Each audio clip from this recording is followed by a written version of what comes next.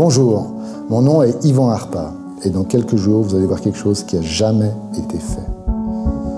Durant toute ma carrière dans l'horlogerie, j'ai eu cette idée dans un coin de ma tête. Une idée, une démarche artistique qui soit un hommage, une démonstration de gratitude envers l'incroyable histoire de l'horlogerie suisse.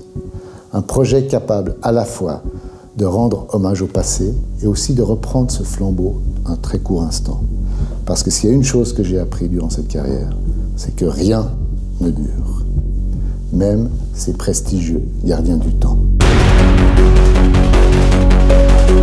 Alors, s'il vous plaît, préparez-vous. Ça va chauffer.